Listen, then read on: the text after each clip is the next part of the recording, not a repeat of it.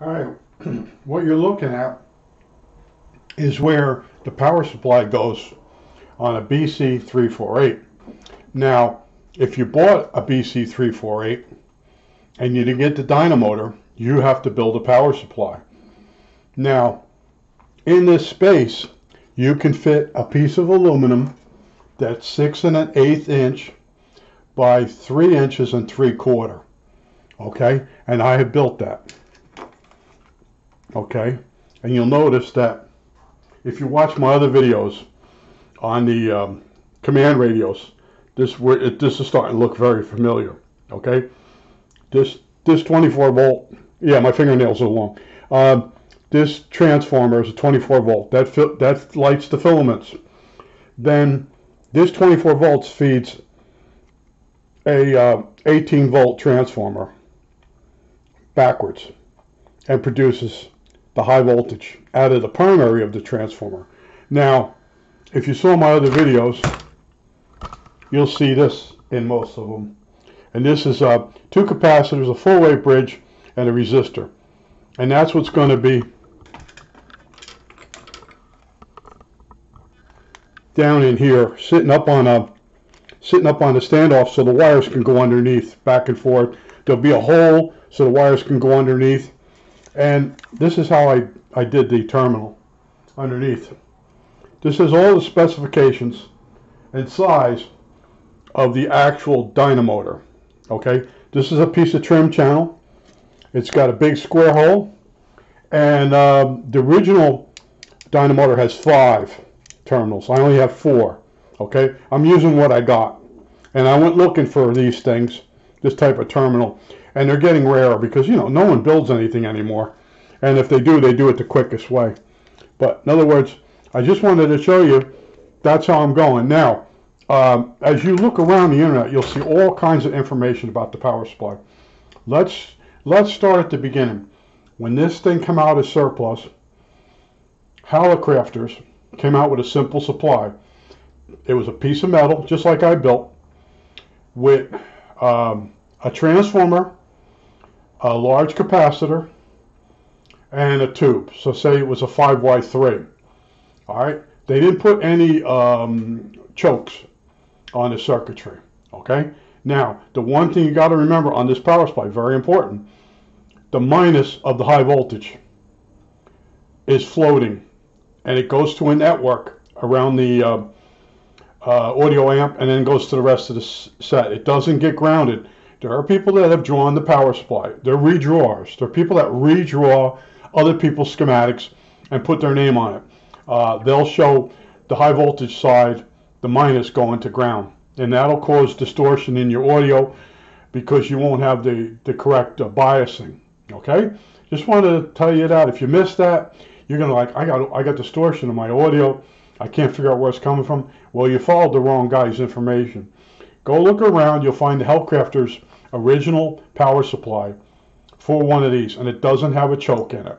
Okay, and there is a guy that took a um, a dynamotor plate that the dynamotor sits on, and he put like four transformers on it. Actually, two of them are chokes, and two are transformers. But the first step going into this, are you going to rewire the uh, filaments? Because remember, this has two series strings of four tubes each, and they're six volt tubes. So each string is 24 volts, and they're in parallel. Now, so the radio wants 24 volts, whether DC or AC, to light the filaments.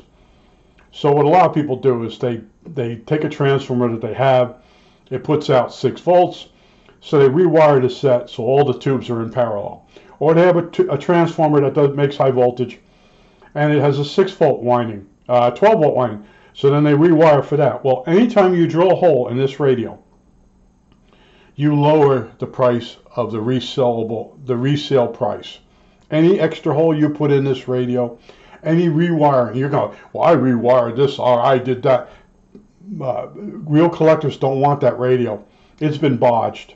Okay, now there's people that have gone so far. I told you the last time that they put a big brass plate on the front. Oh, this radio's been modified by blah blah. Puts his name real big on the plate, and then there's call letters. Now the guy trying to sell the radio has a piece of tape over the guy's calls, and they want $1,500 for that radio. Uh, that radio is worth, uh, let's see, $79 after what that guy did to it as a collectible. Now, I try to keep my radio original. Now, the reason I'm building this like this is I can move this between radios. It takes longer than my other one. Go look at my uh, command radio one. It unplugs real quick. You can put you can change the the power supply from one radio to another in less than 30 seconds, maybe even quicker. Okay, that's what I'm all about. Leave the radio original. Okay, but just remember the minus of the high voltage, which should be like 200 volts, uh, doesn't go to ground. And if you see any schematic that shows that, avoid it. You know, there's redrawers out there. There are people that redraw other people's circuits, put their name on it, pass it around, never having built the circuit. Uh, I worked with a guy like that. He took one of my circuits, he redrew it, passed it all around. He never got his working. Uh, it was hilarious. It's hilarious stuff the way people operate. And I want to interject about the world. Uh, the world is basically totally crazy. You, the way you perceive the world, you make it sane. You pick out the pieces and make them fit together. You create reality. The world is basically totally insane. Uh, especially now, everybody's out for themselves. And I warn you about these radios. Uh, people that, that mess them up, drill holes, they think every hole they drill into the radio makes the radio go up in value. And the worst case I ever saw of that was I was at a ham flea market, and this guy had a, a radio. It was a, a, a Drake, and um, I walked over. I think SW4. It was like a shortwave receiver radio, and it didn't have a BFO. And I walked over, and the guy wanted seventy-five dollars, and I'm looking. I'm like, it's really in good shape. And all of a sudden, I spot in the middle of the the, the, the front panel which is silk screen, is a hole and a switch. I said, what's that for? He says, oh, I added a BFO. Well, why didn't you put that switch in line with something? It just like, just grabbed the hand drill and just pop the hole through the front panel of the radio. Not aligned with any other switch, not aligned anywhere else. He could have put that in the back of the radio. You know, how hard is it to reach your hand around the back when you want to put the BFO on? No, he put it right in the middle of the nicest part of the silk screen front panel. And I'm as I'm walking away, he dropped it to like 50 bucks. He goes, I'll, I'll take 50. And I'm like, no, nah, somebody will buy it. I said, I don't like that switch in the middle of like the, well, I, I just did it real quick. And yeah, you, I, I knew that. You know, no thought at all, just drill the hole. You know, he did add a BFO, and God only knows how he did that. But there's people out there that think that think their shit doesn't stink. You know, some people think I'm that person. Well, you, you can think whatever you want my my job that I've taken on is showing you what other people don't show you, and then uh, telling you don't screw shit up, okay? Because these radios, uh, they're they're part history, and there's there's I won't say there's millions of them, there's thousands of them, and they're sitting in someone's cellar, or they're a shelf queen. It's never going to get a power supply in it. Uh, I told you I have one already, and um, it's got the dynamotor in there. All I had to build was a 12, uh, a 12, a 24 volt DC supply. You hook it up, turn it on. It lights all the tubes because it's all original. And then the dynamotor, as it spins, makes like 250 volts, something like that, maybe 350. I don't know. And um, the radio works fine. But as I'm using the radio, you hear that dynamotor spinning in there. And it's not real loud, but I figure to stay busy, I'll do another one of these and put one of my power supplies in. Now I'm hoping this all works. You know, you know, if you saw my command radio, I take one transformer and feed it into another one backwards, and it worked fine. But I could only get 160, 160 volts after the, uh, the full wave bridge and capacitor. I'm hoping to get a lot more, or not a lot more, get up closer to 200 with this. And I left the way I, I have the holes all drilled for transformers. I can swap out this transformer. Okay, I got I, I, I get the, the measurements of the distance of the holes, the whole thing. This took a lot to get to this point. Just making my decisions like not to trap myself. You know, as I'm building it, I'm saying to myself, uh, do it so you can make some changes without drilling more holes. I don't I don't like to design anything without or build anything without thinking about it for a few days. And that's the way. I now I know I'm stuck with a six and one eighth inch by three and three quarter inch piece of aluminum. That's the that's the area of the aluminum piece. But then you got in here that, that comes in a little bit. So you lose that space. So, you know, I put the pen underneath here and I drew on the bottom of this thing to give me an idea where the parts have to be. I didn't just throw this thing together. I looked at pictures of people that just did that. And uh, a lot of them just took a dynamotor and took the motor, the dynamotor off the plate, and they used an original plate, which I'm like, oh man, I can't believe they did that. You know, because now you got a, you got a, a dynamotor you throw out, and to make the radio whole, it has to have um, a, dynamotor on it, it, museum quality, and now you got people with these radios looking for a dynamotor for it, and in some cases they're 179 dollars, and when you bought them surplus they were like 15. But people were buying them for $15 just to get the plate. So they didn't want to have to cut a piece of aluminum. You know, just just buy it, take the dynamotor off it, just to get the aluminum plate. But I just wanted to show you, you know, I am working on this, and I'm working very slowly. I do a little bit each day. Now today I've got salvaged terminal strip. This is re recycled. Full wave bridge. This is 600, 600 volt full wave bridge. Here's a a recycled resistor and I'll build that. I have standoffs and I'll get I'll get this uh, uh, wired up today and on its standoffs and I might start wiring today but I like to do a little bit each day just to stay busy. I also bought a box set of the TV show Monk. Now I want to tell you Monk is a pretty cool program but if you watch too many episodes in a row you see how stupid it really is. The guy can't go anywhere without someone being murdered. Uh, the person that's murdered is always connected to someone he knows. You know, it, that part of it. So you don't catch on to that until you're maybe three years into the series, watching it on television, because each week you watch an episode. But when you have a box set, uh, you basically can spot things like the water. He only drinks a certain type of water. You can actually spot that he does sometimes drink a different brand there's all kinds of things once you have the box set. But the other box set I, I pull out and I run is Northern Exposure because that program, uh, once you get past the doctor's personality and all the different people in the community, uh, the stories revolve around different people each week, also the doctor. But it's got a lot going for it. It's almost like Seinfeld. They don't just dwell on one little plot. They maybe run three plots that might come together or might be three different stories. So Northern Exposure is a thumbs up for me.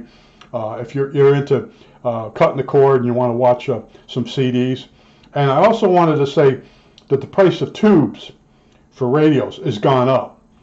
Uh, all the years people were collecting them like they were going to be worth a lot of money. And uh, they really haven't gone up that much. Tubes have not kept up with inflation. If you take a price of a tube eh, back in the 60s, put it in the inflation meter, it's still super cheap. Okay? And the reason I'm saying this is I have to buy all new tubes for this radio because somebody took them out. And I didn't notice it in the pictures because I was going between four different radios on eBay. And I just wanted to have something on the bench, something to each day, uh, put a few minutes into it, uh, think about it, then build it, then think about it, then build it. Okay? That's what I'm doing. Instead of standing there all day over this thing, working on it until it's done, and then taking it in that room I got and putting it on the pile. Uh, I'm, I'm, I'm doing things a little bit differently. Okay? And we've got this real bad heat wave going again. At my age, uh, a certain temperature is too hot for me. All right? So, in other words, uh, above, above, say, 78 degrees with the sun out it's really hot for me to be outside without trees. And in Lancaster, it's all farmland, so there's very few streets with trees on it. Unlike uh, where, I, where I came from in New Jersey, if you went around uh, Nutley and that, uh, they, the streets were lined with trees. So you put a hat on and you go for a walk, and you're under shade the whole time you're walking. Here, you're out in the blazing sun. And it has, it has a good point and bad point because when it's winter time and you're walking, it's not as bad uh, except for the wind. If it's windy, oh man, you get destroyed because there's no trees to, to slow the wind down. But I just want to go over this this power supply thing, and uh, you know I know a lot of you uh, have bought this radio, and you're looking at it and looking at it and looking at it, and uh, before I buy anything, I'm pretty sure I'm going to do something with it. And this was just specific specifically a radio to kick around and to play with without changing it. Okay. Uh, like I said, people drill holes through these poor things. Your value goes right out of them.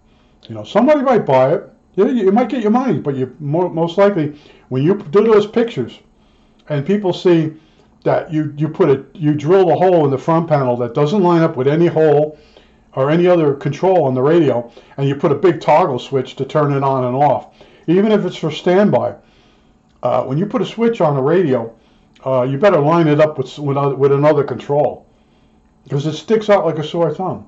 And this radio isn't exactly a beauty queen either, you know. So you're really you're really messing it up. But there are people that don't care because they're going to buy this radio.